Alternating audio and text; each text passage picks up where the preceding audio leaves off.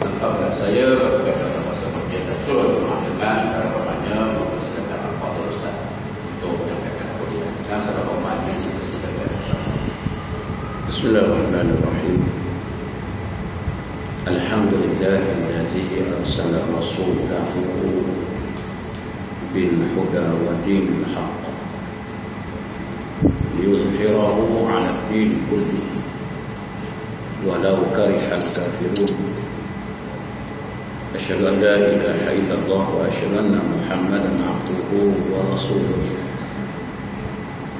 اللهم صل وسلم على سيدنا وحبيبنا وشفيعنا محمد صلى الله عليه وسلم. أما بعد أيها المؤمنون اتقوا الله أوصيكم وإياي بتقوى الله فقد فاز المتقون. سبحانك لا علم لنا إلا ما علمتنا. إنك أنت العليم الحكيم. رب اشرح لي صدري ويسر لي أمري واحلل عقدة من لساني يفقه قولي. رب يسر ولا تعسر يا كريم. اللهم ذكرنا ما نسينا وعلمنا ما جهلنا. اللهم ذكرنا ما نسينا وعلمنا ما جهلنا. اللهم ذكرنا ما نسينا وعلمنا ما جهلنا. Tuan-tuan dan puan muslimin dan muslimat mudah-mudahan dirahmati Allah Subhanahu wa taala insyaallah. Pertamanya kita manjatkan rasa syukur kepada Allah Subhanahu wa taala. Kerana dengan limpah kurnia dan inayah kita masih lagi diberi kesempatan oleh Allah taala. Masih lagi diberi peluang oleh Allah taala untuk kita sama-sama meneruskan kehidupan kita muka bumi Allah taala ini sekaligus dapat melaksanakan segala tuntutan-tuntutan Allah dan meninggalkan segala larangan-larangan Allah Subhanahu wa taala insyaallah. Dan pada malam ini insyaAllah sekali lagi kita sama-sama dapat berhimpun di rumah Allah Subhanahu wa taala ini. Mudah-mudahan kita sama-sama dapat berkongsi bukan nak mengajar tuan-tuan tidak tetapi kita berkongsi yang sedikit yang dianugerahkan oleh Allah taala kepada kita. Dan mudah-mudahan kita sama-sama dapat mengamalkan apa yang ilmu yang kita kongsikan pada malam ini insya-Allah mudah-mudahan kita mendapat keridhaan Allah mendapat redha Allah dan rahmat Allah Subhanahu wa taala insya-Allah. Jadi pada malam ini insya-Allah kita sama-sama berkongsi dalam satu tajuk hebatnya kuasa doa. Nah, hebatnya kuasa doa. Ramai orang berdoa tuan-tuan. Cumanya orang tak faham apa itu doa. Itu je lah. Kadang-kadang dia doa lepas semayang, dia doa dah. Yang lain tak payah doa. Dan definisi doa sendiri pun dia tak faham tuan-tuan. Apa yang dikatakan doa. Dan banyak perkara tentang doa ini tuan-tuan. Jangan anggap doa ini satu perkara yang kecil. Doa ini tuan-tuan boleh merubah suatu perkara yang tak mungkin menjadi mungkin. Ha? Kadang-kadang perkara yang tak mungkin kita rasa tapi boleh berubah menjadi mungkin dengan sebab doa. Kadang tuan-tuan ada perkara yang kadang-kadang dia buruk tapi dengan doa dia boleh berubah. Dengan cakap, dengan nasihat semua tak pakai. Tapi dengan doa tuan-tuan sering berdoa mohon kepada Allah Subhanahu wa taala akhirnya dia berubah. Dah. Jadi doa ini bukan suatu perkara yang kecil sebenarnya. Cumanya tuan-tuan kadang-kadang kita tidak menjaga pertama sekali adab-adab doa menjaga syarat-syarat doa. Kita tidak mencari waktu-waktu mustajab doa. Kita tidak berjumpa dengan orang-orang yang mustajab doa. Kita tidak pergi ke tempat-tempat yang mustajab doa. Ada banyak, perkara yang kita nak terangkan. Cumanya yang kesempatan pada malam ini tuan-tuan, ialah mana yang sempatlah kita berkongsi tuan-tuan. Pertama sekali tuan-tuan Allah Subhanahu wa taala sebut dalam Quran wa qala rabbukum ud'uni astajib lakum. Artinya Allah kata mohonlah kepada aku nescaya aku perkenankan itu janji Allah. Nah, itu janji tuan-tuan. Dan Allah tak pernah mungkir janji. Inna Allah la yukhliful mi'ad. Itu setiap Allah berjanji tak pernah ada insya-Allah. Wa qala rabbukum ud'uni insya-Allah. Ya, tak pernah. Dan mohonlah pada aku insya-Allah aku kenal tak Allah janji dia perkenan, dia perkenan lah. Yang kena insya-Allah tu kita. Sebab kita ni banyak bohong. Janji kadang tak kena janji. Ha ni, bohong banyak dah. Satu dia kena ada insya-Allah tuan-tuan sikit. Tapi sikitlah. Jadi yang tak adanya Tuhan dia, dia tak ada janji tak mungkin janji punya. Qala rabbukum ud'uni astajib lakum. Ha. Mohon nescaya aku perkenankan. Hmm, dah mohon dah ustaz banyak kali dah tak dapat-dapat juga. Mohon jadi kayu tak kayu-kayu. Eh, mohon naik pangkat pun tak naik-naik. Ya. Banyak dah mohon ustaz, satu pun tak dapat. Orang kan tak ada mohon. Dapat je ustaz. Kayu-kayu je hidup. Nah. Apa makna doa yang tu dulu nak tanya? Apa makna doa? Ya? Doa ni tuan-tuan yang disebut dalam kitab Lisan al-Arab oleh Ibn Manzur dalam kitab Lisan al-Arab. Ada yang sebut Ibn Munzir, ada sebut Ibn Manzur. Terserah yang mana satu.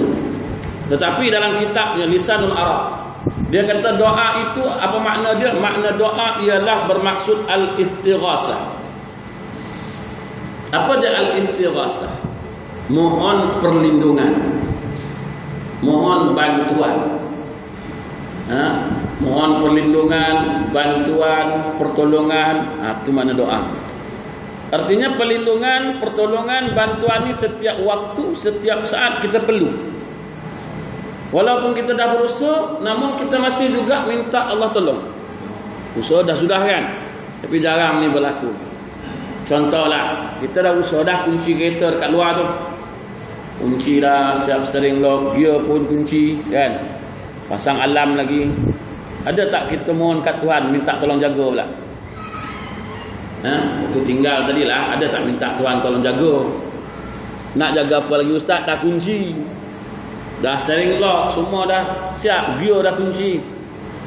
Tak ada pun kita doa waktu kita ninggalkan kereta kita tadi tu Astaghfirullah allazi la tudhi'u wada'ihu. Ya Allah aku letakkan aku simpankan barang ini dalam pemeliharaan kau ya Allah. Dan tidak ada pemeliharaan yang lebih baik melainkan pemeliharaan kau ya Allah. Walaupun aku dah kunci walaupun aku dah pasang alam dah lock dia punya steering gear pun dah lock. Tapi itu semua hak makhluk. Yang mana yang nak jahanamkan pun makhluk yang buat tadi itu makhluk, yang jahanamkan pun makhluk. Ha. Manusia yang tak berdoa ni manusia yang sombong. Dah letak simpan seolah-olah usaha dia tu menjamin apa yang dia buat. Nah. Dia tak dia terlupa pada Allah. Nak katakan ya Allah walaupun ni aku dah dah kunci tapi kau tolong jagalah sikit. Sebab yang tak tak lalai, yang tak tidur, yang selamat hanya engkau je yang pelihara. Yang lain semua tak selamat. Ada security pun kereta hilang. Tuan-tuan, kan? Kunci kereta, tu tu tu kedai kereta, kedai kereta tu. Rapat-rapat taruh. Supaya orang dengan dapat curilah kereta tu. Satu trailer curi ni kereta. Ha, dapat juga dia curi. Yalah, kedai orang kapi kan. Ha, dia kata susul rapat-rapat. Nanti dia tak boleh ambil lah, dia tak boleh keluar. Eh, angkat pakai mesin. Dapat juga dia tuan-tuan. Allah dah tunjuk jangan sombong. Yang yang jaga elok aku je. Yang selamat jaga ni walaupun tak berkunci kadang-kadang terlupa lah. Dah kunci letak kunci atas bumbung kereta. Dah kunci dah tinggal lagi kunci melekat kat pintu. Hmm, ha. tu apa masuk lah. Ha, dah kunci. Tapi kita tak lupa Allah. Doa. Pelihara ya Allah. Alhamdulillah selamat kita kita nasib baik orang tak nampak kunci ni. Ha, kita kata nasib baik pula dah. Kita tak kata Allah jaga kita kita. Kita kata nasib baik orang tak nampak kunci aku. Terima kasihlah pada Allah. Ya Allah terima kasih kau lindungkan kereta aku ya Allah. Dan terlupa tuan-tuan. Bukan terlupa memang tak buat langsung. Itu jawapan dia dah Yalah. Pernah ada tadi? Tadi tadilah susah susah lama-lama. Susah yang mula lepas. Yang tadi tu tinggal kat luar tu jadi ada doa tadi. Ya, tinggalkan motor. Alah nampak ustaz. Ni jangan cerita nampak tak nampak. Ni depan mata pun boleh hilang. Ni tadi tu minta tak kat Tuhan tadi oh tu. Jujur-jujur lah ni masjid ni. Jujur-jujur cakap ni masjid. agak-agak tadi tu dan tinggal kat luar barang-barang tadi tu ada ada simpan kat Tuhan tak minta Tuhan tolong jaga kejap ha ada tak ada memang tak ada memang tak ada. Cakap Melayu tak apa. Ya Allah tolonglah jaga ya Allah peliharalah harta benda ni ya Allah. Sebab pemeliharaan kau lebih baik daripada pemeliharaan makhluk ya Allah. Nah ada. Ini menunjukkan manusia lupa Allah. Yang kedua saya tengok kita ni kadang-kadang apa pun kita punya mindset dia ialah makhluk dulu. Contohlah kan bila kita tak ada duit anak nak universiti seorang sekolah lima orang duit tak cukup tak cukup lah sebab nak universiti apa ibu anak lagi kan tak cukup pertama sekali yang kita nampak siapa tuan ha, tu pertama sekali yang kita nampak siapa Tuhan ke makhluk? Ah ha, tu soalan dia lah. Agak-agak lah. Yang pertama sekali kita punya pemikiran, kita punya hati, ingatan pada Tuhan ke pada makhluk? Makhluk dan saya bagi contoh. Tak siapa nak minta tolong. Agakkan abang aku, abang aku nama dia kayu, takut nak mengkuih.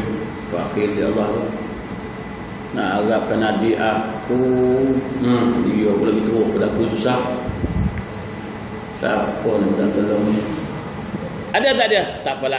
Ada masalah kan? Ambil air semayang semayang kejap tadah tangan ke Allah. Ada gitu.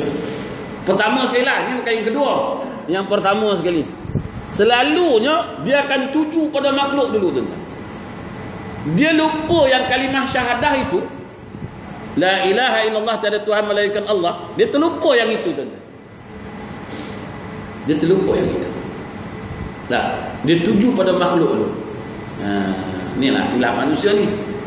So tuan-tuan dia akan ingat nak itu dong. Ha, jadi kita pun nampaklah ada satu ni. Kok-kok dia boleh tolonglah tu. Yang orang kaya depan tu lah. Yang rumah tiga tingkat tu. Kereta apa 10 biji Yang ada bumbung tak ada bumbung Keluar ke tingkap Keluar ke pintu Semua ada kan rasa dia ni boleh tolong lah kot kan tapi orang kata dia ni bakhil pula dah bakhil kedekut bin kukut cukup tu syaratnya dah bakhil kedekut lagi. Kukut lagi tahu kukut kukut ni apa? Kukut ni lebih teruk pada bakhil lagi tu kan memang sekupang tak dapat lah bukan kita je jumpa. Tu imam masjid pergi jumpa nak minta sumbangan mahal hijrah ni. Kan? Sekupang tak dapat. Kan? Ha, kita nak buat program lah. Program apa? Mal hijrah ke surat mi'raj kan? Kita nak buat program lah pergilah jumpa kan minta sumbangan sikit lah kan kita pihak masjid nak buat program ha, forum tuan boleh menyumbang sikit layan pun tak tu imam pergi tak dilayan lah AJK lagi lah teruk Haji Malik pergi minta langsung tak layan lah Dah biasa dah ji gitu. Kan? Tak layan nak gaji balik pergi pun. Ha, tapi tuan-tuan, ha, bakhil dan kedekut itu yang gerakkan hati dia Allah Ta'ala tu. Sebenarnya, kunci dia kat Allah Ta'ala. Di satu hari, Haji Malik ni dia tak berduit lah anak masuk universiti kan. So, universiti, duit duit tak cukup, 600 macam mana nak. Pergilah, keluar-keluar pintu rumah, nampak mau orang kaya tu kan. Pergilah orang minta tolong ke orang kaya tu lah. Ha? Pergi-pergi sampai mana tak dapat, sekupang tak dapat, tak dilayan lah. Ha, ha, tak apalah. Haji pergi dengan tak ada doa. Dia nampak pagi tadi bangkit-bangkit terus pergi je. Nampak orang kaya tu boleh tolong, duit banyak, ha, pergi terus. Tapi sayang pergi-pergi tak dapat. Balik. So imam pula pergi. Ha. Imam sebelum pergi dia semayang dulu siap-siap, dia doa ya Allah, gerakkanlah siapa hamba-Mu ya Allah supaya dapat tolong aku ya Allah dapat menginfakkan sebahagian dari harta aku ya Allah untuk nak sekolahkan anak aku nak universiti ni ya Allah. Tolonglah ya Allah. Imam pun keluar tergerak hati. Allah gerakkan hati imam pergi mau orang kaya tu juga. Ha, tu biasa tu imam. Bila dia gerak hati imam nak pergi je jumpa tu haji balik. Mana imam?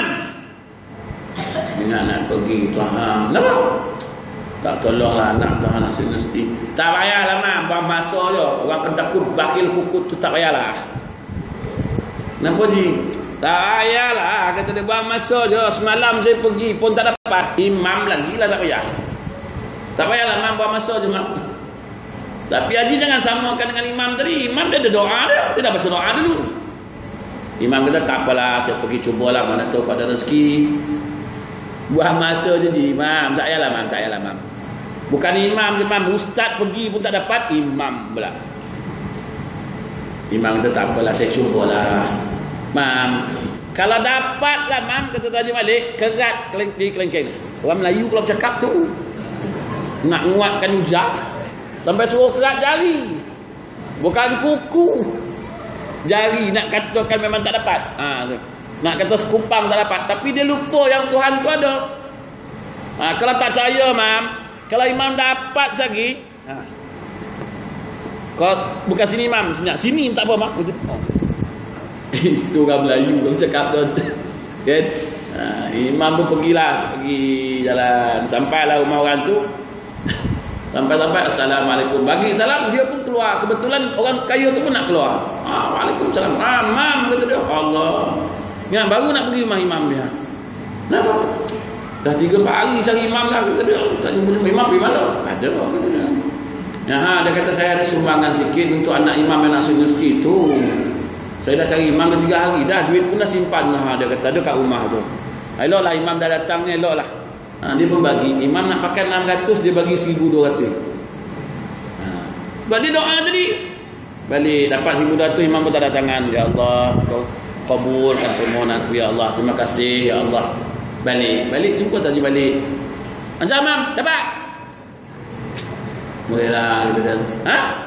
Boleh lah sikit. Berapa? Dapatlah nak makan 600 dapat 1200. Ai. Membagi pula dia. Buang terbiat apa kaya dah. Dah buang terbiat pula kau kata. Sedar tak? Imam pergi dengan doa. Tuan Haji Malik pergi dengan tak ada doa. Sebab Tuan Haji Malik kata dia orang kaya dia mesti boleh tolong kan. Dia banyak duit. Tuan Imam tak ada. Yang kaya Allah Ta'ala. Yang gerakkan Allah Ta'ala. Aku pergi jumpa Tuhan dulu. Lepas jumpa Tuhan, Tuhan kata, Mam, pergi jumpa orang tu. Tadi Malik tak jumpa Tuhan dulu, dia pergi jumpa orang tu dulu. Ini beza tuan. Nah, ini contohlah. Pasal itu tuan-tuan, doa ini penting setiap saat, setiap waktu. So dinamakan al-istirasah. Itu yang dinamakan permohonan. Itu yang dinamakan pertolongan. Itu yang dinamakan bantuan. Tapi jangan silap faham. Permohonan bantuan pertolongan ini pada Allah Ta'ala tuan-tuan. Saya tu nak tahu siapa yang boleh memohon pada Allah. Semua orang boleh. Tapi ada orang yang dimakbulkan doanya pada Allah. Ha, tuan-tuan, ada doa makbul, ada doa tak makbul. Dan pas itu saya marah dekat ibu-ibu. Selalunya ibu-ibu lah yang saya marah.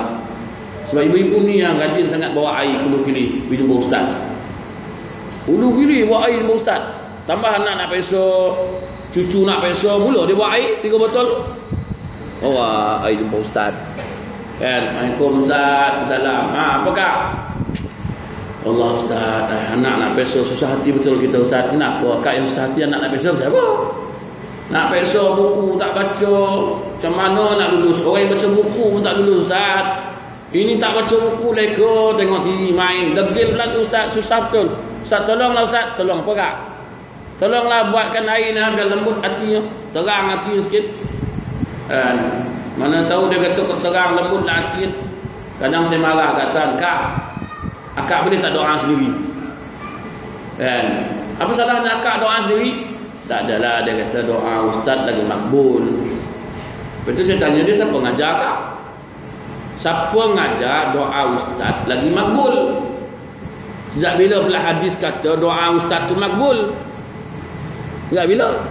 Yang ada dalam hadis setahu saya doa ibu bapa itu yang makbul terhadap anak dia.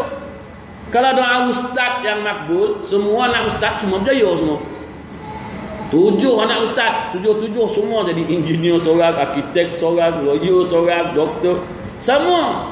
Tujuh-tujuh tu. Anak siapa tu? Anak ustaz. Patutlah tengoklah siapa yang doa ustaz. Power tu. Dia tak tahu anak ustaz pada tu raya. Justru itu. Jangan silap tafsir. Pasal itu ibu-ibu jangan silap tafsir. Nah. Kita yang doa, jangan suruh orang. Doa yang tak dihijab, doa ibu pada anak. Birairi hijab. Kita lah mohon.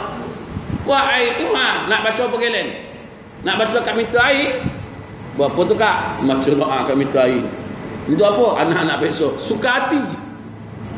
Doa kita tu makbul. Kan? Makbul. Tinggal lagi kita tak yakin. Semua nak ngarap orang. Nak ngarap ustaz. Kan? Ha. Ustaz pentang kau ulu. Ya? Ulu tak tahulah apa dibaca dia. Kan? Ambuh-ambuh balik. Ngulu. 4 20 ringgit. Kan? Tak tahulah apa dibacanya. Anak tetap gak gelap. Besok tetap gak 4C 2D 1E. Doa yang makbul ibu-ibu. Ibu-ibu yang baca doa sendiri. Dah. Dia kau pergi suruh orang buat apa? Segala-galanya ibu-ibu ni. Kadang-kadang semua dia cari ustaz. La ilaha illallah. Saya pening tengok. Laki bermasalah pun dia cari ustaz. Ustaz, tolonglah Ustaz. Apakah apa masalah ni? Tahulah kak laki saya ni. Ustaz dia kata datuk tua ni meragam lah dia. Dulu ni tak nak meragam datuk tua ni meragam lah nak cari elok tak apa lah Ustaz. Induk ni kata dia. Habis tu? Tu nak minta tolong lah kat Ustaz ni kata dia. Apa ni minta tolong? Tolonglah minta doa Ustaz. Tawarkan sikit. Tak apa terkena dengan indun ni kau. Ha. Dia tak tahu yang dia minta tu pun meragam dia tak tahu. Yang tempat dia minta pun tengah meragam dia tak tahu dia kira laki dia dia meragam. dia tak tahu yang dia tempat dia minta tu pun tengah berdoa untuk diri sendiri. Eh dia pula piarakan Ustaz. Tolong Ustaz. Laki meragam lah Ustaz. Hindun lah minatnya Ustaz. Ha, ilah. Tak payah ibu-ibu. Kita hari-hari duduk rumah baca Yasin, mayang duha, ambil air, dua tiga botol letak depan baca Yasin. Besok nak masak, nak buat air pagi-pagi masak air Yasin bagi laki minum, bagi anak minum ya Allah, lembut kalau hati anak aku ni ya Allah. Lembut kalau hati suami aku ni ya Allah. Terang kalau hati anak aku ni ya Allah. Ha. Payah kau. Semua nak ngarap orang pasal apa? Sendiri boleh buat. Doa ibu lagi makbul. Doa isteri tu lagi makbul. Asal tak buat? Bawa air ke ustaz. Kan? Habis bini ustaz nak bawa ke mana pula? Ibu-ibu nak? Buat sendiri, buat sendiri. Ibu-ibu punya doa hari-hari baca Yasin. Ambil air dua botol, tiga botol baca Yasin. Laki tak ada rumah, baca Yasin. Bila nak masak, campurkan sikit tuang air. Ya Allah, lembutkan hati suami aku. Ya Allah, dengan berkat air yasin. Ya Allah. Apa salah? Inilah kadang-kadang kesalahpahaman kita hari ni suka minta kat orang. Nah, ibu-ibu nak? Jangan minta-minta kat orang. Laki mengagam pun kita buat sendiri. Jangan jumpa orang. Buat apa? Ya. Kita dengan kita boleh buat. Allahu Akbar. Situ kita ni banyak yang salah tafsir lah. Situ kadang-kadang saya marah. Ustaz, boleh tak tolong carikan untuk anak saya Ustaz? Ustaz, apa kak? Masalah apa ni? Anak saya perempuan ha, dah 29 tahun tak kahwin-kahwin. Ustaz tolonglah cari Ustaz. Nak cari yang macam mana? Yalah kalau boleh yang biar Ustaz dah. Aku hangin dia dengar. Dia macam Ustaz tu dah macam malaikat tadi buat. Ustaz tu kira macam dah dah mulia sangat dah tu. Dah maksum sangat tak ada dosa. Asal sampai nak cari menantu pun mesti ustaz. Nabi tak suruh, Nabi suruh cari suami yang beriman. Tak ada pun termaktub dalam tu mesti ustaz. Ha, sebab tuan-tuan, ibu-ibu tak duduk dengan ustaz pasal tu tak tahu. Kalau tuan-tuan duduk dengan ustaz, campur ustaz, duduk sekali kan. Ha, tahulah nasib kau macam mana. Nak ustaz macam tu gahiu. Ha, bukan saya tuduh lah. Tapi kita tak tahu. Kita jangan hukum zahirnya saja. Tengok ustaz baguslah. Untunglah bini dia. Asal? Dapat suami ustaz. Ha, sebaik bini dia tak dengar. Kalau bini dia dengar, ha, untunglah sangat. Ha, kau nak tahu untung tak untung, kau nikah dengan ustaz. Itu kita tak tahu. Kita tengok Sayyidina Umar. Apa orang Arab kata apa? Dia ni Amir Mukminin. Kalau kita tengok dia Sayyidina Umar ni garangan. Dah tentu-tentu bini takutnya. Bila orang nak ngadu dengan dia sebagai khalifah tentang bini, pergi ngadu Sayyidina Umar. Tengok-tengok Sayyidina Umar kena kena lecture kat bini dia.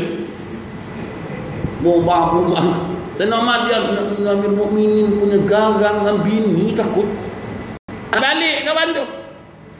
Syaitan jangan cari ustaz. Tak payah. Cari. Beriman tak beriman? Dah. Tengok dia semayang bagus. Alhamdulillah. Budak ni akhlak bagus. Tapi kerja masa rumput ni. Alamak. Tak apa. Masa rumput pun tak apa. Yang penting dia beriman. Daripada dia ustaz tentu raya. Ha? Kita je yang tak tahu ibu-ibu. Kadang-kadang bini-bini ustaz ni ada tak kena pelempang. Kan? Kita ingat ustaz ni tangan tak naik. Ustaz lagi laju.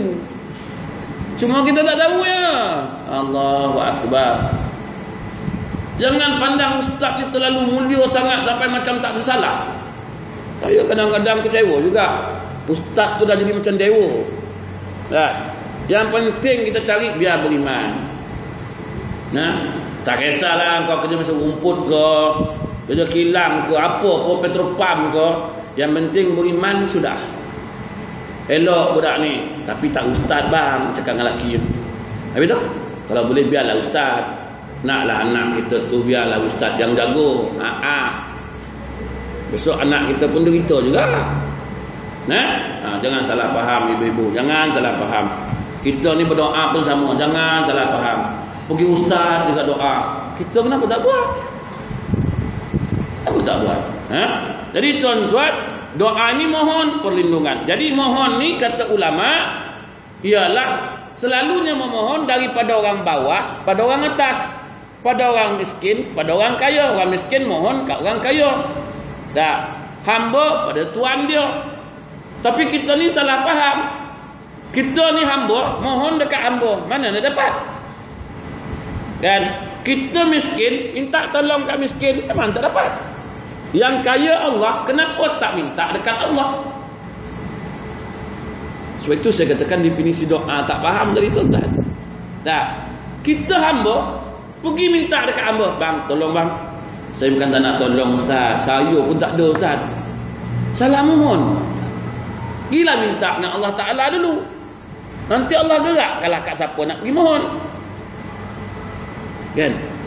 Hamba mohon dekat Tuhan. Kalau kita hamba mohon dekat Allah Taala. Kan? Kalau kita miskin mohon dekat yang kaya, yang kaya Allah Taala. Nah, jadi tuan-tuan, dahlah kaya, pemurah pula tu, dahlah pemurah, pengasih, penyayang pula tu. Cukup lengkap dekat orang yang kita nak minta mohon tu. Eh?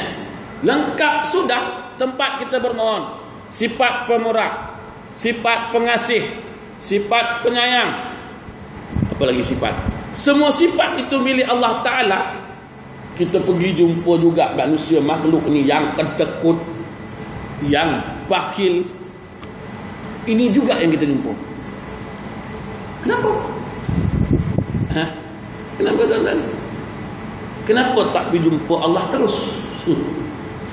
Ini kesalahan dalam kita memohon kepada Allah Subhanahu wa taala. Pasal itu Allah tinggalkan kita. Kau nak mohon kan? Ha, pilah mohon dekat tu. Kau tak, kau tak ingat aku pun. Kau bukan nak minta kat aku pun. Kau rasa hamba tu kaya, pergilah minta kat dia. Dan ha, ni tuan-tuan nak kena faham. Mohon pada Allah Subhanahu wa taala. Jangan mohon pada makhluk. Ha, nah, itu satu. Sebab itu doa ini dia panggil doa dia kata apa? Doa itu ialah silahul mukmin. Apa dia? Doa itu senjata bagi orang yang beriman. Kita tu yang ada satu senjata yang paling ampuh. Apa dia? Doa dan ada masalah ngadu dengan Tuhan. Ada permohonan ngadu dengan Tuhan. Ada nak minta perlindungan minta dengan Tuhan. Tu ya. Nanti Allah gerakkanlah hati-hati makhluk hamba-hamba dia ni. Tentera-tentera, bala-bala tentera Allah Ta'ala ni ramai kan? Tuan-tuan cuba tengok Nabi minta ke Allah Ta'ala, Allah hantar burungnya. Weh. Berkecai habis semua. Hantar burungnya. Dah. Minta itu je tuan. Selamatkan rumah Allah Ta'ala. Minta burung yang datang buat batu. Allah tahulah kerja dia. Ha? Allah tahu kerja dia. Justru itu kita minta dengan Allah Subhanahu wa taala. Jangan minta dengan makhluk. Ini doa tuan-tuan. Nah, doa ialah senjata bagi orang beriman. Ibu-ibu nak keluar rumah, doa. Sebab itu Nabi dah ajar doa semua. Nak keluar rumah, nak masuk rumah, nak tidur, nak makan, lepas bangun tidur, lepas makan. Doa, semua ada doa. Jangan dah terdesak baru dah doa.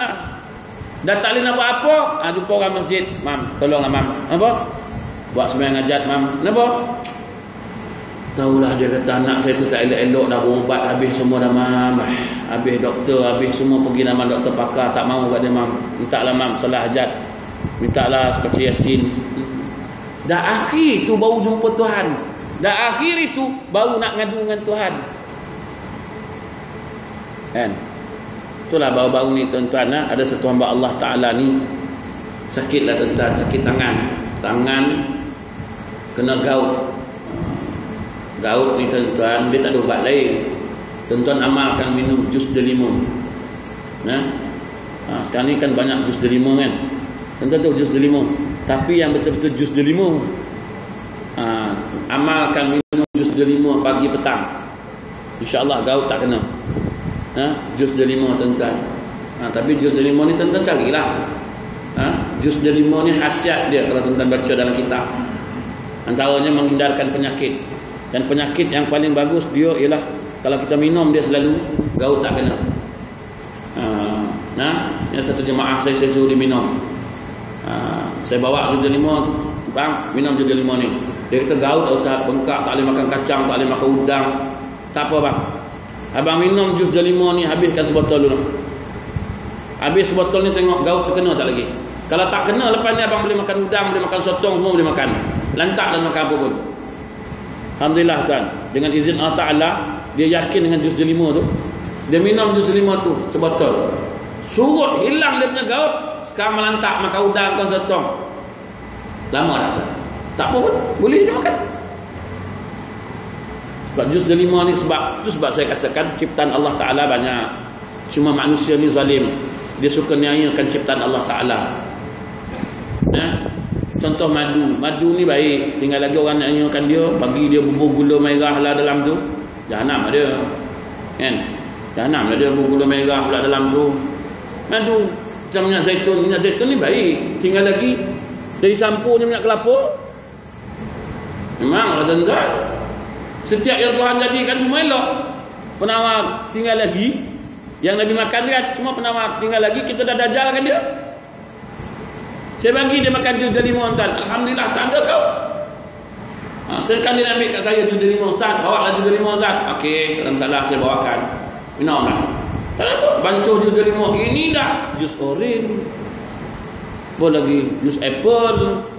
Yang Nabi sebut yang dikatakan Nabi sebut tu jus delima kan adakahlah jus delima tu buat air jangan minum benda lain kan ha, ni tuan-tuan jus delima tu jus delima ha, ni banyak tuan-tuan dalam Islam ni benda doa pada Allah Ta'ala ngadu dengan saya buat apa nak kena kerat tangan ha, tapi memang saya tengok pun memang patut nak kena kerat pun dia hantar gambar kat saya dulu dia hantar gambar dia kata ustaz ni nak kena kerat. Memang nak kena kerat semua kan. Saya pun takut tengok.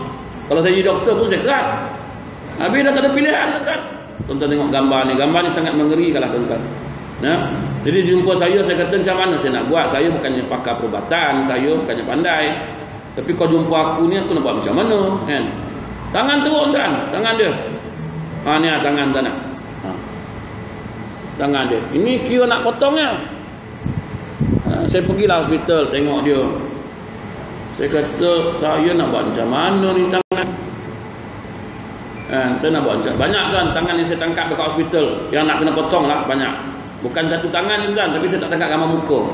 Ha, ni antara tangan-tangan yang saya tangkap lah tuan ha, bukan doktor perubatan pun tinggal lagi ha, nah, ni tangan. Tangan yang dipotong. Jadi tuan-tuan dah banyak lah tangan-tangan yang saya tengok. Jadi saya pun pergilah. Saya kata saya bukan doktor, saya bukan. Cuma mohon pada Allah Taala. Kalau Allah Taala izin, insya-Allah. Tapi kalau Allah Taala tak izin, saya dia apa orang. Bila saya sampai kebetulan doktor ada, saya cakap dengan doktor, doktor tak boleh keselamatkan ni. Doktor tak ni bahaya. Ini tahap bahaya ni kena potong. Sebab kalau tak potong dia sampai ke jantung. Oh, sudah kawan dengan jantung mengupu terus. Doktor sabarlah doktor, sabar sikit je. Sebab bagi saya doktor nak buat tangan ni bukan senang doktor. Nak potong senang, nak buat ni. Doktor tu tengok je aku. Tuan ni siapa? Saya tak ada apa lah doktor. Saya datang tengok lah doktor. Sahabat saya saya datang tengok lah. Habis tu cakap macam tu. Dia nak cakap macam mana lagi? Betul tak? Habis doktor senang ke buat tangan? Kan? Doktor boleh buat tangan ke? Tangan macam ni balik. Boleh buat ke? Ha, tak boleh. Habis tu salah ke saya cakap? Dia tak kenal aku ustaz. Dia mentang-mentang aku tak masuk TV. Kau tak kenal aku. Kan? Cakap lah doktor. Nanti dulu lah doktor. Jangan kerat lah dulu. Tak ada kepilihan lain. Oh dia kata tak ada. Ni kena kerat ni. Kau tak kerat ni. Boleh mati ni. Sabar doktor. Nyawa tangan Tuhan. Tunggulah dulu. Memanglah nyawa tangan Tuhan. Tapi kita kena usaha. Habis doktor nak usaha apa? Kerat. Kalau kerat saya belajar jauh doktor. Saya pun boleh kerat. Aku dah angin. Cakap macam ni lah kak. Akak kalau yakin kat saya jangan kerat lah tangan ni. Kalau yakin kat saya lah Saya pun minta dengan Tuhan Saya cuba, saya cuba. Saya bukan pakar pun. Boleh ke Ustaz? Kalau akak yakin Akak tanda tangan surat tu. Okey lah Ustaz. Tanda tangan. Saya pun balik. Balik ambil lah. Uh, Apa? Jus tu tuan-tuan. Jus walid ni. Sarang burung. Tapi yang daripada gua. Bukan daripada rumah tu. Rumah tu nak buat apa? Dua-dua Yang dicampur dengan stevia Saya bagi dia minum. Tuan minum ni saya ambil saya spraykan kat tangan dia. Okey. Pagi saya sampai saya spray. Sampai petang saya spraykan dia. Spray tangan semua cuci tangan dia. Tangan macam tadi tu. Tiga hari saya buat dia surut. Dia surut dia surut dia makan dia surut dia surut dia surut. Saya nampak tanda dia dah baik lah dia nak baik. Saya kata macam ni lah akak bagi suami akak ni makan sampai habis. Spray tangan dia makan sampai habis nah. Saya minta ke doktor, doktor bagi saya tempoh 2 bulan. Kalau tak baik doktor kerat lah. Doktor kata apa? Tak payah 2 bulan. Mati ada ni kita ni. Eh, dia sound saya macam tu. Doktor boleh cakap macam tu. Kau tak boleh cakap macam tu kan. Tapi kalau kau marah kat aku janganlah kau sound depan sakit. Tak ada 2 bulan dia kata. Ini kalau macam ni ni selalunya mati. Tak angin aku tengok, tak kembang aku. Kau pandang aku lekeh sangat. Saya buat tuan-tuan akhirnya dengan izin Allah Taala ni tangan dia. Ni tangan dia. Ha? Ha, Saya jumpa doktor tu balik. Doktor, saya sampai 2 bulan. Tangan tu elok doktor. Yang doktor nak kerat itu ni. Oh, dia kata tuan bubuh apa baru nak lembut dengan aku. Sebab saya kata doktor hanya sebagai doktor bukan Tuhan. Tapi doktor jangan sombong. Yang uruskan semua ni Allah Ta'ala. Usaha kita tu hmm. aku tengis juga-juga doktor tu. Jangan ingat kita doktor pakar belajar sampai island sampai mana Dublin semua tu kita nak rasa hebat sangat kita doktor. Sabar. Minta Allah dulu. Sebab semua itu urusan Allah. Doa ke Allah Ta'ala. Elok. Tak ada masalah sebab yang doktor bagi itu bukan ubat ubat ke tuan-tuan? Kalau satu hari tuan-tuan makan mula-mula Mula-mula kencing manis Tiga bulan makan ubat naik darah tinggi Dua pil Lepas itu jantung Tiga pil. Daripada sebiji Satu pil Sampai serenggam Ubat ke? Eh ubat elok lah. Kalau dah sebiji Sampai serenggam judahnya Baik jet dia terus Ada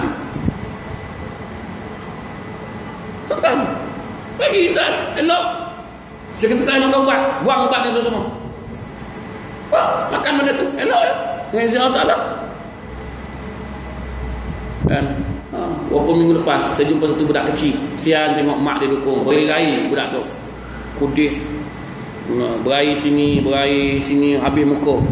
Pala sian budak tu nangis-nangis gatal-gatal. Uh, semua habis ni. Sampai seplastik krim satu plastik krim. Mak dia bagi. Sapu kat anak dia. Satu plastik. Tak lah krim apa. Krim gatal krim kulit uh, krim melecet semua dah Kebetulan dia jumpa saya. Dia kata saya pun tak tahu nak buat apa dah ustaz? Jumpa dah terpakar ni habis 500 Terpakar ni habis 800 Ubat ni je ustaz. Macam ni lah kak. Saya bukan pandai lah kak. Saya tak pandai lah kak Tapi akak gunalah ni Ni apa ni ustaz? Ini minyak zaitun. Akak guna je ubat ni dulu. Berapa ringgit ni kau? Orang Melayu kan. Bila bagi je tanya reka lah. biarlah rosak jahanam mati patah hudung pun yang penting dia dia ni kan saya kata akak guna dulu bawa balik rumah sapukan minyak zaitun ini ni minyak yang pokoknya diberkati oleh Allah Ta'ala lepas tu doa pada Allah jangan lupa Allah doa pada Allah. Sebab Tuhan kata minyak zaitun pokok yang diberkati. Siapa yang kata? Ingat saya kata? Allah yang kata. Minta kat dia balik. Kau kata ya Allah pokok ni berkat ya Allah. Dengan berkat khazanah zaitun ini ya Allah kembalikanlah pulih anak aku ni ya Allah. Dia pun balik. Ikutlah cakap saya siap bertulislah doa. Dalam bahasa Melayu. Baliklah. Pagi tu balik dia sapu. Petang telefon. Keringlah ustaz kering dah alhamdulillah syukur padamu ya Allah dengan berkat apa yang kau kata zaitun ini ya Allah kering budak ni tak kata lagi dah budak ni tak nangis dah saya kata kak akak buat sampai dia licin balik dia akan melupas sendiri bila kita sapu minyak zaitun ni dia akan melupas sendiri. Tak sampai seminggu tuan. Elok budak tu licin. Elok. Ha, saya kata kak ambil tu tu tu yang doktor tu punya tu pi minta dia semula. 500 800 tapi tak elok nak berapa? Ni berapa ni Ustaz minyak zaitun ni? Ha, kau dah elok sendiri mau ingat lah. Dah elok kan kau doktor pun kau bagi sampai 500 tak elok aku elok ha macam tadi aku mancing dia tu aku bagi free kali kedua ya aku hmm, aku tekan lah dah baik orang kau dah baik ni semua dibagi ya. kak sebotol 20 ringgit ha. tak apa Ustaz bagi 3 botol Ustaz 3 botol lebih elok je kulit dengan dia dia pun pakai elok licin dia Orang perempuan ni duk tanya krim malam, krim siang, krim jalan, krim matahari, semua ada krim. Muka macam dua tengok. Tak ada lah, bukan aku tutup. Kan? Tanya krim, ni krim siang, krim pagi. Ni krim tengah hari, balik cuci pula. Ni krim malam nak tidur. Sampai laki pun takut. Dia tengok krim tu. Tapi muka macam tu juga tengok. Kedut juga kot. Minyak zaitun ada apa saya tak tanya malam-malam tu nak tidur. Tanya minyak zaitun. Bagi licin. InsyaAllah kak. Tak percaya. Buat tengok. Kan saya yang kata ini Nabi sebut. Kan? Nabi yang sebut. Ada satu jemaah saya kaki teruk. Buku deh. Mana semayang tak dapat. Susah. Saya kata apa bang? Jumpa saya kejap. Kenapa Ustaz? Jumpa lah sekejap. Jumpa dia. Apa ni? Dia kata ni abang dia penyakit ni dah pergi jumpa doktor belum? Segala doktor kulit dah Ustaz. Habis dah pergi. Malas nak pergi dah. Lantak lah Ustaz. Biarlah macam ni. Gatal tak bang? Gatal. Balut kaki. Macam ni lah bang. Abang ambil minyak zaitun ni. Sapu. Jangan guna barang lain lagi. Guna zaitun je. Ya ke Ustaz? Ya. Pakai lah. Pakai. Tiga hari elok. Kering je lah. Dengan izin Allah Ta'ala elok je kering. Tuhan kata pokok yang diberkati. Kenapa tak ada guna? Nak tak guna barang tak tentu halal semua. Kita gatal, bagi krim gatal. Tambah gatal lah kawan tu. Tanya, tiga hari je.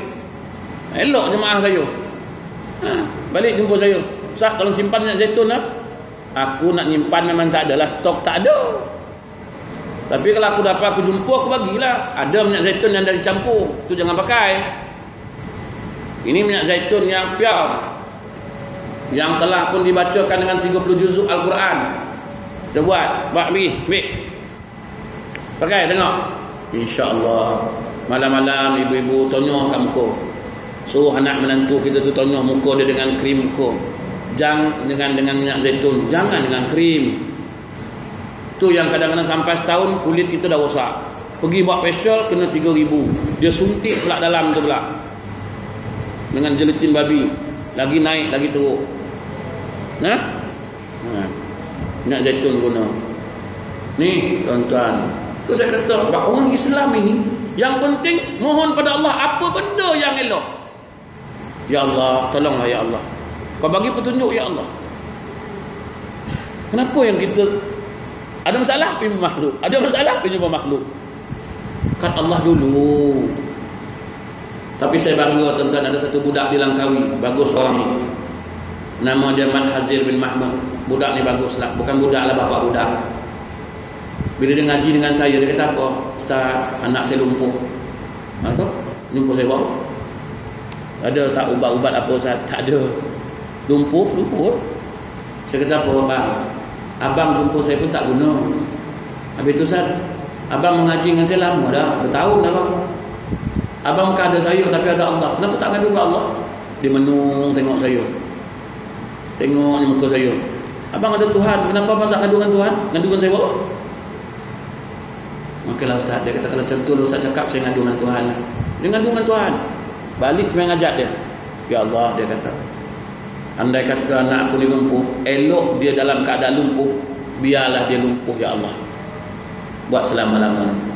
Aku tak kisah Aku redha Kalau dia lumpuh tak boleh jalan tu Biarlah dia lumpuh Aku redha ya Allah Tetapi ya Allah Kalau bagi engkau dia elok daripada lumpuh Biarlah dia sihat Sihatkanlah dia ya Allah Kau bagilah petunjuk pada aku ya Allah Apa ubat Apa benda yang aku boleh bagi makan dia Boleh sapu kat dia Sehingga dia boleh jadi elok ya Allah Hanya engkau yang bagi petunjuk Aku tak mampu ya Allah Engkau jangan mengetahui Tuhan bagi dia petunjuk tuan. Tak jemu-jemu solat hajat, Tuhan bagi dia petunjuk. Apa dia buatnya? Dia temukan satu akar, nama dia akar kayu seruntun. Pernah dengar? Saya pun tak kenal akar tu. Saya pun tak kenal akar tu. Bila dia mimpi, dia kata apa? Ustaz, saya mimpi. Mimpi apa? Saya mimpi ngebus satu akar, akar kayu seruntun. Mana pula aku tahu akar seruntun ha, saya kata apa petanda kayu tu? Dia kata kayu dia ni pahit apa semua. Saya dalam mimpi tu saya rasa pahit. Okey lah. Okey lah. Tuan macam ni lah. Tuan usah lah cari. Ada tu kayu tu mesti ada. Mesti ada saya kata. Tuhan bagi petunjuk ada dia cari-cari-cari jumpa dekat rumah dia je akar seruntun tu dekat rumah dia je dia ambil akar kayu ni dia rebus akar kayu ni. Dan dicampur dengan harbo akar kayu 210 harbo akar kayu. Dia rebus selama 21 hari. Dia peram minyak tu selama satu minggu. Dia sapu dekat anak dia. Tapi dia tak urut. Dia sapu hari-hari sapu punya sapu sapu punya sapu anak dia berjalan dengan izin Allah Ta'ala anak dia berjalan? Saya itu kita jangan lupa berdoa pada Allah. Sujud syukur dia tengok anak dia berjalan. Siapa tak bangga bertahun anak dia terbaring tak boleh jalan. Tiba-tiba anak dia boleh bangun berjalan. Dengan izin Allah Ta'ala. Sebab apa? Dia ngadu dengan Allah. Allah kata tempat kau ngadu aku. Bukan makhluk. Oleh kerana kau ngadu dengan aku, aku tunjuk. Dia tunjuk kita. Saya pun pergilah baru ni di Langkawi tengok budak tu. Orang tengok budak tu dia berjalan. Nama budak tu, nama orang yang buat ni lah Mat Hazir bin Mahmud. Orang Langkawi. Nama kedai dia MH Saujana. Bukan MH17, itu dah bersepai. 370 tak jumpa. Yang ada MH Saujana nama kedai dia. Tapi kat dia, beli kat dia minyak tu. Minyak akas seruntun. Harga sebotol RM10. Tapi boleh beli sebotol sahaja. Ha. Sebab ha, Nanti aku cerita lah sebab dia Tak boleh beli banyak kan? Saya pergi Saya cakap dengan dia Habis Kalau orang luar nak macam ni Tak ada Kat dia je ada Pergi Langkawi lah Saya kata pergi Langkawi Naik ferry kalau boleh Langkawi RM18 pergi Pergi balik 36 Nak beli minyak akan seruntun RM10 Gila Nak naik lah motor kereta di sini Minyak 200 236 nak dapat minyak seruntun satu Baik tak bayar bang. Eh, bukan apa Ustaz dia kata saya takut orang syirik. Saya tu saya tak jual kat kedai. Dia tak jual kat kedai. Satu langkawi tak ada benda Allah tu. Kedai dia je. Jadi saya pujuk pujuk pujuk pujuk dia. Macam ni lah. Saya niat nak tolong orang suara masjid boleh tak? Nak buat apa Ustaz? Yalah nak bagi orang suara masjid. Dia menung tengok saya. Betul ke Ustaz? Ya kerja aku ustaz, ngajar orang. Yang bohong kau. Kau pun ngaji dengan aku. Mana mana mana tak apa ustaz. Macam nilah ustaz balik dulu lah. Aku dia lawan balik. Beli dulu. Nanti saya fikir, saya sebenarnya ajak dulu semester sekarang dulu tengok Ustaz. Kalau boleh Ustaz, Allah bagi petunjuk, saya bagi kat Ustaz. Balik saya. Apa tak dapat, satu tak dapat. Lama pada tu saya pergi bulan lepas.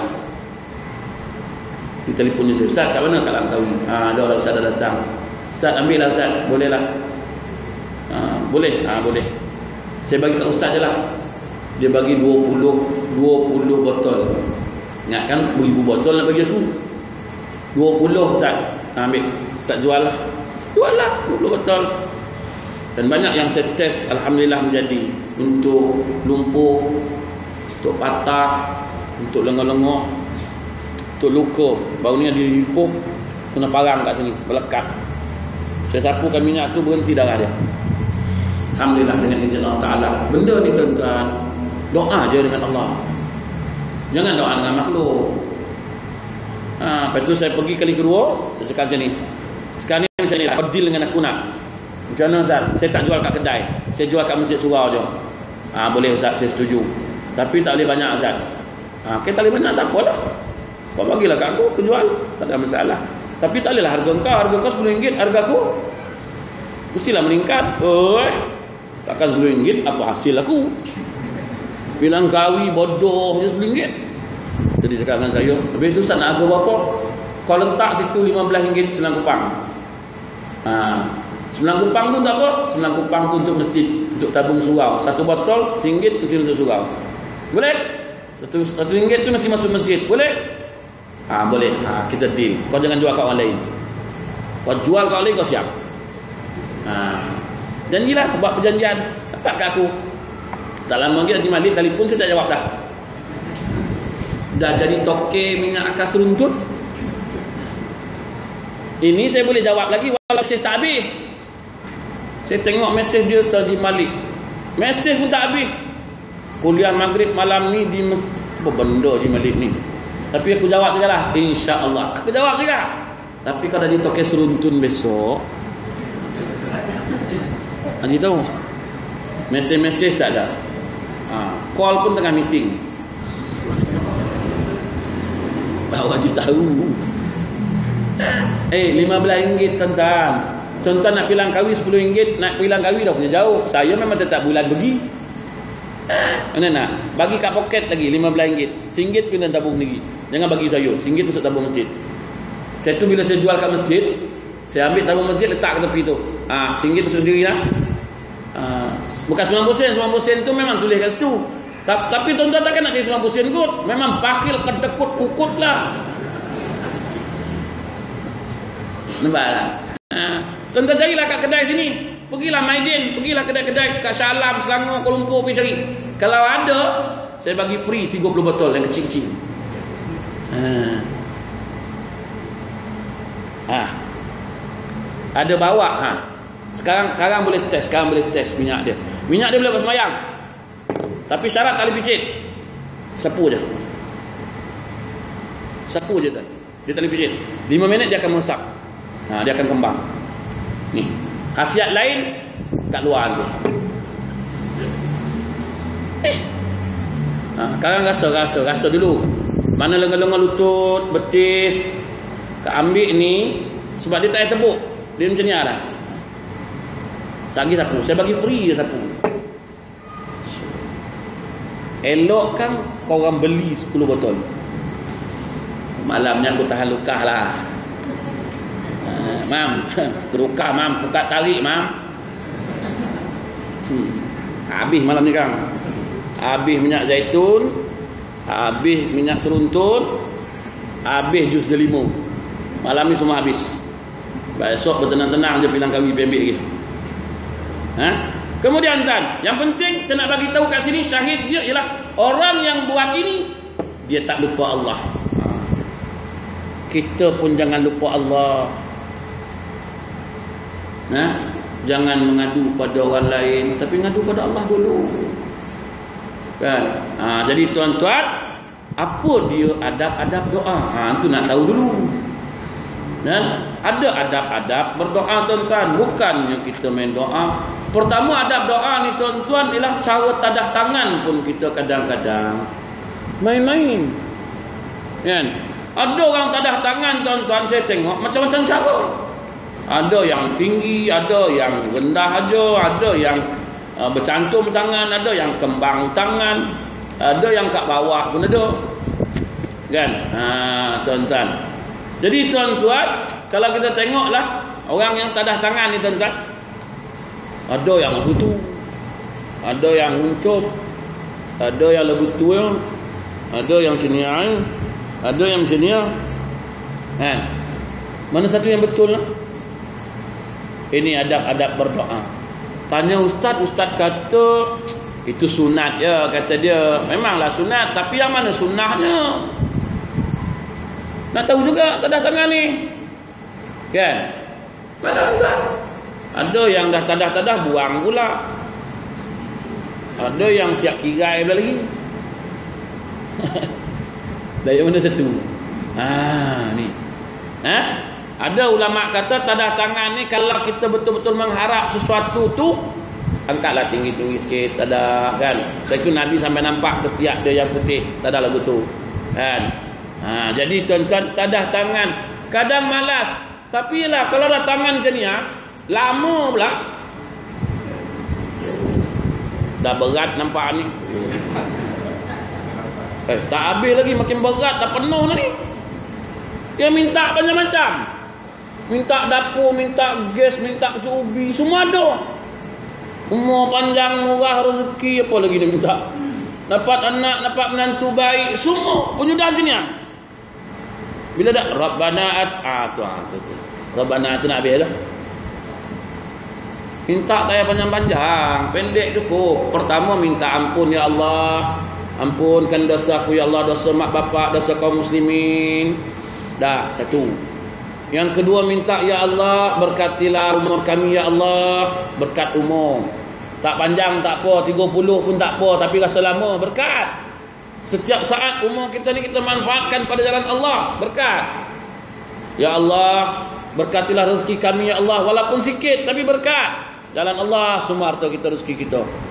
Lepas tu minta baik di dunia dan minta baik di akhirat. Amin. Cukuplah. Orang panjang minta periuk, minta dapur, mah baru dan minta tukar kereta. Eh, banyak sangat. Tu yang hmm? Hmm? Hmm? Kalau sampai kat ni sembilan, ah, ada. Suruh buang. Eh, tuan-tuan. Nah, ah, jadi tuan-tuan tak ya. Panjang-panjang. Minta sikit padat. Macam nak minta panjang umur dah panjang 80. Panjang apa lagi? Tuhan pun eh, nak panjang macam mana je lagi dia ni. Hmm, hmm. Ya Allah panjangkan umur kami ya Allah. 91. Minta murah Tuhan kata aku memang sifat pemurah dah. Apa masalah kau ni? Carilah. Salah mohon. Nah, ha, tapi hari pun dah 8.40 ni tak ada lama-lama lah tuan-tuan. Ceramah tak lama-lama sebab tuan-tuan bukan tahan betul pun. Kan? Fikir pun bukannya ni pun. Fikiran pun tak boleh angkat lebih pada 30 minit. Tambahlah tadi tadi Malik dah bagi jadual. Tu jadual bila tu untuk bulan 11. Bulan bulan 10. Bulan 10 tak bulan 9 30. Bulan 10 dah bagi jadual. Saya tengok hari-hari kuliah. Saya pun pening tengok. Banyak ni kuliah aku cakap dia ni tak muak-muak ke mengaji mohon. Kan? Ah. Hari-hari tak malam je tengok tu tu tu tu tu. Siapa tak ambil ni memang tu tu. Tu. Penat kawan tu putus state. Oh banyak tu tuan. Tiap-tiap malam subuh ada, perempuan punya ada, maghrib la ilaha illallah. Ha, pasal tu tak lama-lama, setengah jam, 40 minit cukup. Sebab tiap malam, tiap hari. Mengaji ni tak lama-lama sebab jadi orang jemu. Ha, biar setengah jam, 40 minit. Di tengah-tengah syok tu berhenti. Ha, macam ni kan, adab-adab berdoa. Baru nak tulis. Wallahu alam. Aduh. Aku ni aku menyampah Ustaz ni. Ha, tak apa, tak apa. Kau menyampah pun tak apa. Bulan depan ada lagi. Ada. Ha, kau datang lagi. Kalau aku habis malam ni, bulan depan dah tak datang. Ha, jadi adab-adab berdoa ni bila? Bulan depan. Aku baru nak nulis. Aduh. Ustaz punya ngakal lah. Tak bukan ngakal. Pelan-pelan. Ha, tadi baru cara doa, macam mana nak doa, kat siapa nak berdoa kan. Adabnya bila? Yang kedua, siapa orang yang kita patut pergi minta. Ha. Yang ketiga, bila waktu mustajab. Yang keempat, apa tempat-tempat yang mustajab. Itu bila? Bulan-bulan depan sampai bulan 12. Haji dah minta. Ha, bulan bulan depan ada, bulan sebelah ada, bulan 12 ada, bawa kau kan. Ha, macam, oh, tahu kau. Ha, jadi malam ni cukup takat tu. Jadi tuan-tuan sebelum saya akhiri, macam biasalah. Pembantu saya dekat luar tu tuan-tuan boleh. Tapi saya cakapkan jus delima tak banyak lah. Ada 24 botol je tuan-tuan. Sebab tak banyak. Benda tu pun benda bagus. Tinggal lagi susah dapat. Ha? Jus delima. Tuan-tuan boleh dapatkan jus delima. Boleh dapatkan minyak zaitun. Lepas tu boleh dapatkan minyak akas seruntunnya. Dan juga minyak zaitun tu lah. Tapi minyak zaitun tu saya cakap terang tak banyak Ha, semua saya terbawa tak banyak. Sebab besok bos saya nak pergi ke nak pergi ke utara. Jadi tuan-tuan siapa nak ambil lah kat luar tu. Tanyalah harga dia. Ha, tuan-tuan dah tahu dah. Tuan-tuan dapatkan barang. Dan barang-barang tu bukan kami punya pun sebenarnya.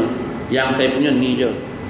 Yang minyak zaitun, yang jus delima, itu semuanya Ma'atafis punya.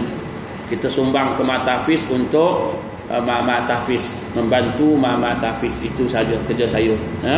Ha, yang saya punya ni itu saya kata tadi tak lama lagi jadi toke minyak akas seruntun. Ngajar surah masjid lambat kayu. Ni agak yang cepat. Bayangkan sebotol RM5. Kalau habis 50 botol kalilah tengok. Kau tetap malam ni ya. Tak tidur lena aku. Wallahu a'lam. Ana a'udzubillahi minasyaitonir rajim. Zakira syakira sallallahu اللهم اغننا بالعلم وزينا بالحلم وأكرمنا بالتقوى بالعافية وصلى الله وسلم الحمد لله رب العالمين.